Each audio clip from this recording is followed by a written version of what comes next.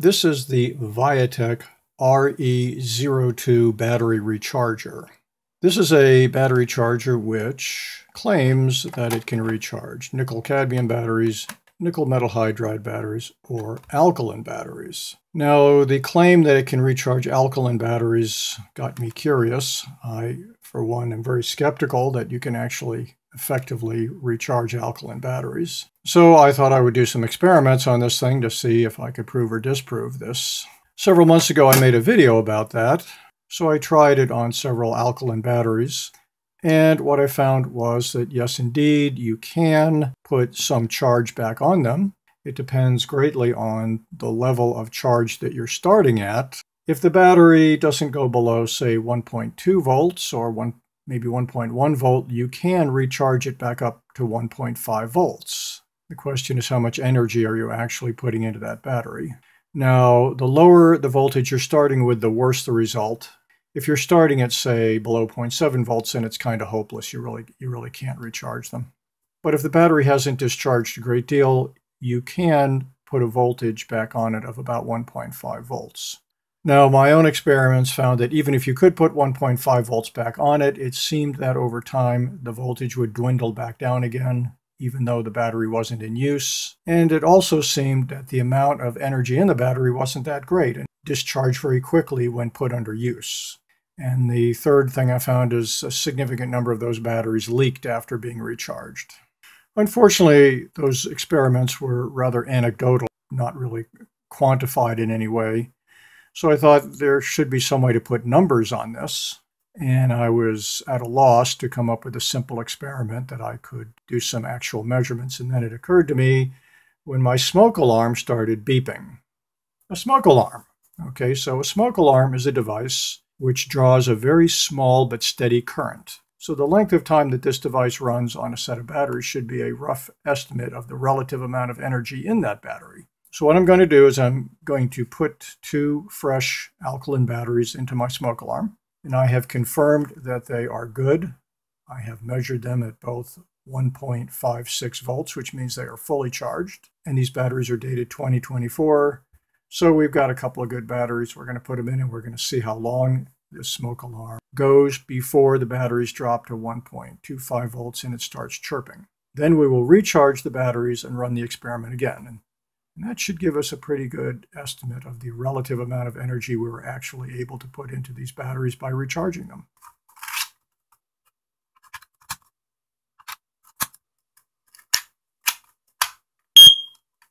Okay, now we're, we're going to record the dates and measure the number of days, and we're going to start our experiment right now. At long last, the batteries in the smoke alarm have run down to the point that it's starting to chirp. This took way longer than I was expecting. You may have seen those public service announcements where they tell you to replace the battery every six months. Well, these batteries ran for 713 days. That's 17 days short of two years. This experiment has gone on way longer than I anticipated. You can hear the smoke alarm chirping. So I'm going to go ahead and pull out the batteries now.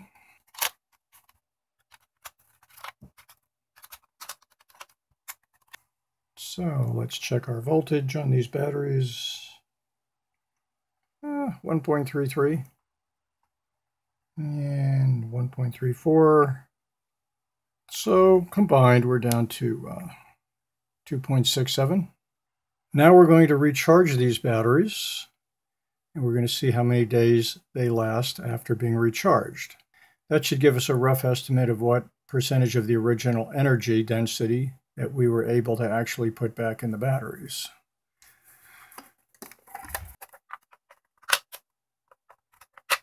And we make sure that we are on the alkaline battery setting. And you can see our little red lights are on, indicating that these are charging. And you see that animation starting to run, indicating that they're charging up. So we're going to let this battery tr trickle charge for the next several hours. And we will be back when these lights turn green and they're fully charged.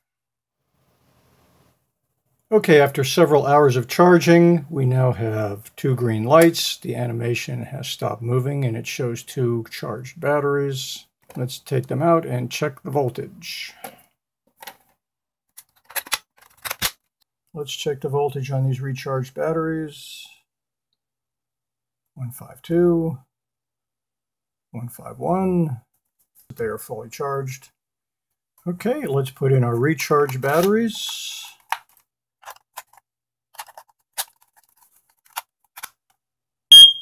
Okay, we'll just see how long it takes for these batteries to run down and the smoke alarm start chirping again.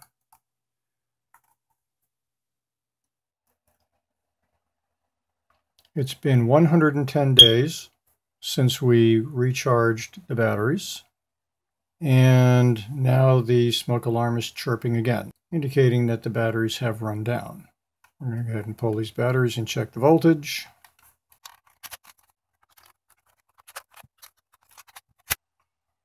Uh, and 1.34, 1.33, pretty much the same as before.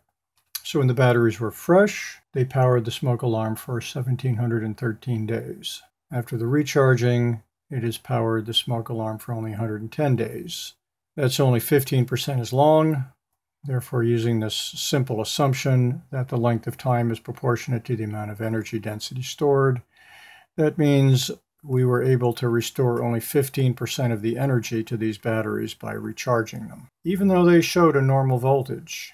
So, as I originally surmised, that even though the voltage may read normal, there's really much less energy after the recharge. I'm going to take these batteries and recharge them a second time to see how much energy we can put in it after a second recharge.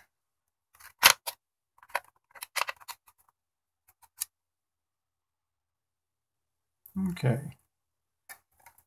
Red lights are on. Now the animation starts running. It's We'll go ahead and recharge that up.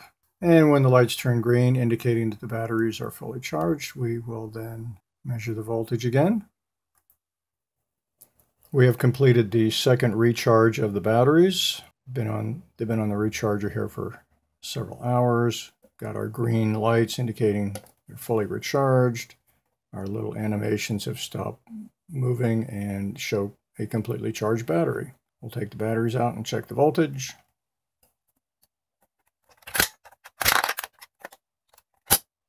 We'll check the voltage on these batteries after our second recharge. 1.53 and 1.54. Okay, they appear to be fully charged. Note there is a little bit of leakage coming from this battery right here.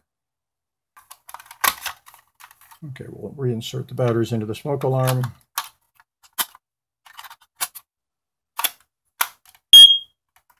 And we'll start the clock running again.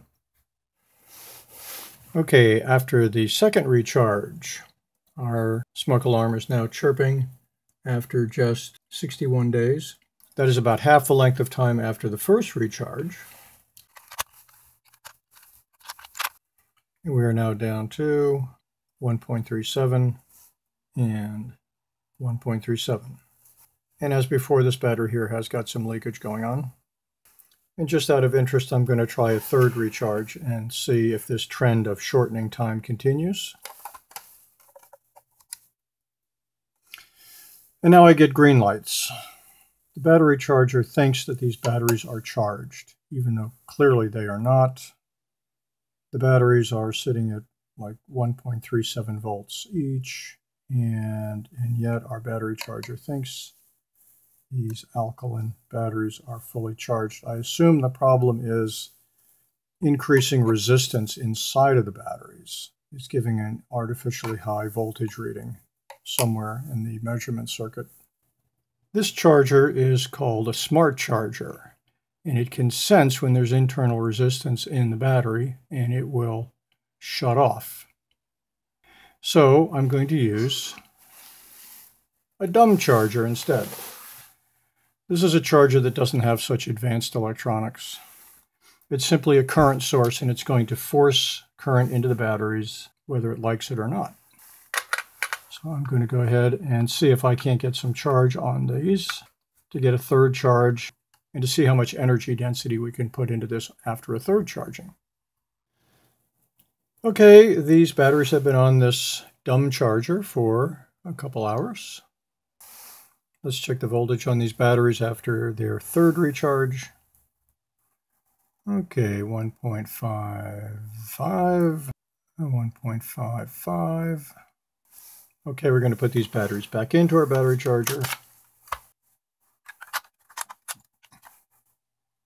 One more go. Let's see how long that lasts. The smoke alarm is chirping again after the third recharging of the batteries. This time the charge lasted only 20 days.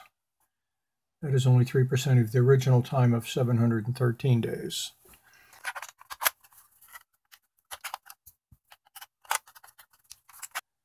To review, this experiment was done to determine how much energy was actually being put back into these alkaline batteries when you charge them on one of these battery chargers that claims to be able to charge alkaline batteries.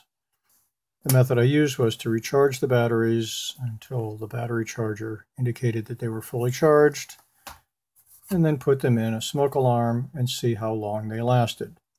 The assumption being that since the smoke alarm pulls a constant amount of very low current, the length of time that it took to reach the cutoff point in which the smoke alarm started chirping would be a pretty good indication of how much energy was in the battery relative to a fresh battery.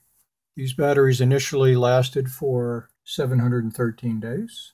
After one recharging, they lasted 110 days. After two rechargings, it was 61 days. After three recharges, it was 20 days. I made a simple bar graph to chart how much energy there is relative to a fresh charge. And here we are. This, this is the size of a bar for the new battery. This is how little there is after the first, and then the second, and then third. And you can see it's pretty dramatically less. Also, after the first recharge, one of the batteries, it started leaking. After the third recharge, the second battery was also leaking. I've redone the chart making the y-axis logarithmic. And this gives us sort of an interesting linear appearing arrangement of bars. Now the vertical scale is in multiples of 10. Back to the linear data chart. When you look at a chart like this, it really kind of drives home the point that it really is not worth recharging these alkaline batteries. Even though the battery may read 1.5 volts when you put it on your voltmeter, really there's there's much, much less energy actually in the battery, and it falls progressively with each recharge. In addition, there's significant risk of battery leakage because when you recharge them, it produces gas, which increases pressure inside of the battery, which can cause leakage and, in the worst case, even cause the battery to explode.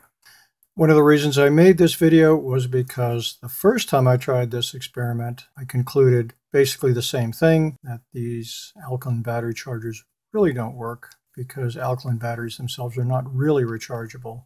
There's a reason why they call them non-rechargeable batteries.